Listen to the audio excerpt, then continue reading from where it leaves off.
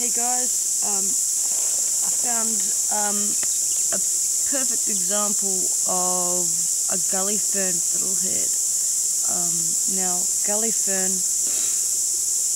is a type of fern that can, that grows down in uh, lowland areas, near particularly uh, near water. So I'm right next to a stream, and I've just seen all this gully fern growing down here, and I thought I'd come check it out. So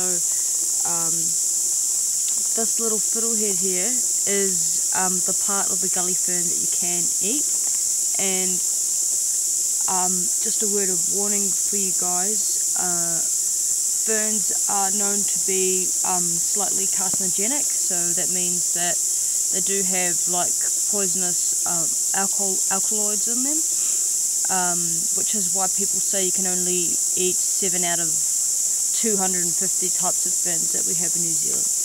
However, um, the levels of the carcinogens are pretty low. You're not going to die if you eat them but um, it's better to boil them and to stick to the common species that are known to be edible. So one of those is the gully fern and you can identify the gully fern by its distinct um,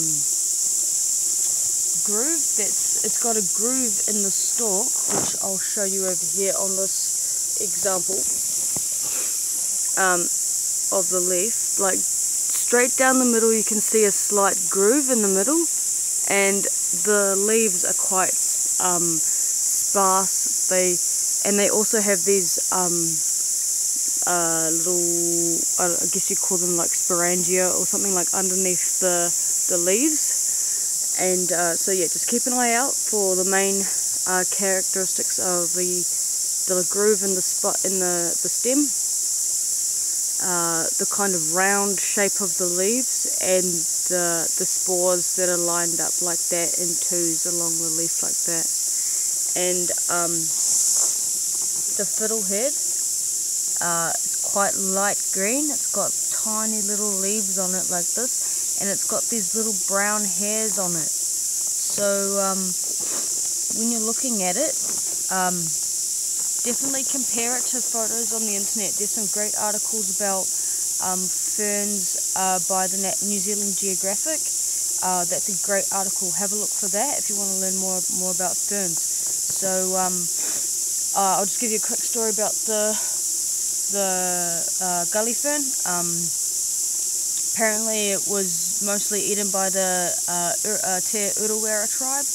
Uh, they enjoy the, the gully fern and I also tried one myself not so long ago and uh, I didn't actually cook it long enough so I highly recommend if you do want to eat fern fiddleheads that you boil them for as long as you can not until it's like not non-existent but like till uh, pretty soft you know a good five or ten minutes because I didn't even I didn't cook it for very long at all and I ate it and it and it tasted disgusting and um, I felt immediately sick and uh, I was freaking out that I was poisoned but I was actually okay. So um, yeah just make sure you cook them uh, for, for, quite a while before you eat them and uh, yeah make sure you're 100% sure you know what kind of fern you're eating even though you're not going to die if you eat it. But um, yeah just keep bear that in mind for when you go looking for fern fiddleheads.